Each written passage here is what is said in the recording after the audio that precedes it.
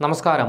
മുത്താനയിൽ നവവധു ഭർത്താവിന്റെ വീട്ടിലെ ശുചിമുറിയിൽ കഴുത്തറുത്ത് മരിച്ചതിന് പിന്നാലെ ഭർത്തൃമാതാവിനെ തൂങ്ങി മരിച്ച നിലയിൽ കണ്ടെത്തിയതിന് പിന്നിൽ മറ്റ് ദുരൂഹതകളൊന്നും ഇല്ലെന്ന് പോലീസ് സമ്മർദ്ദം താങ്ങാതെയുള്ള ആത്മഹത്യയായിരുന്നു ഇതെന്നാണ് വിലയിരുത്തൽ. മുത്താന ഗുരുമുക്കിന് സമീപം സുനിതാ ഭവനിൽ പുഷ്പാങ്കദന്റെ ഭാര്യ ശ്യാമള എന്ന അറുപത്തിരണ്ടുകാരിയാണ് ഇരുപത്തിയാറാം തീയതി പുലർച്ചെ വീടിനോട് ചേർന്നുള്ള കോഴി ഫാമിൽ തൂങ്ങി മരിച്ചത്. പതിനഞ്ചാം തീയതിയായിരുന്നു മരുമകൾ ആതിരയുടെ മരണം. തുടർന്ന് ശ്യാമളയെ പോലീസ് ചോദ്യം ചെയ്തിരുന്നു.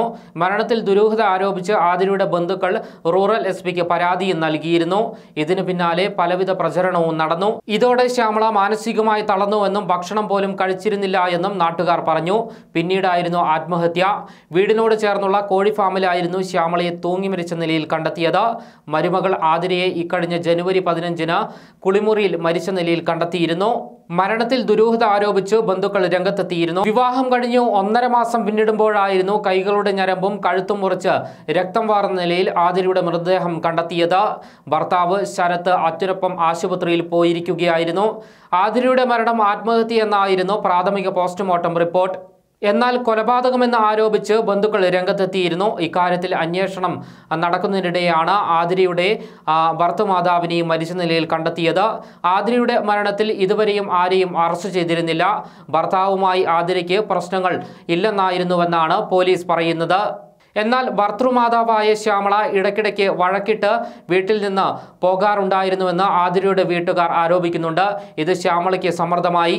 ഇതാണ് ആത്മഹത്യക്ക് കാരണമായതെന്നാണ് വിലയിരുത്തപ്പെടുന്നത്. ആതിരയുടേത് കൊലപാതകമാകാൻ വിദൂര സാധ്യത മാത്രമാണുള്ളതെന്നാണ് പോലീസ് പറയുന്നത്.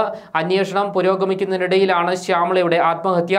ആതിരയുടെ മരണത്തിൽ ശ്യാമളയ്ക്ക് നേരെ പലരും സംശയമുന ഉയർത്തിയിരുന്നു.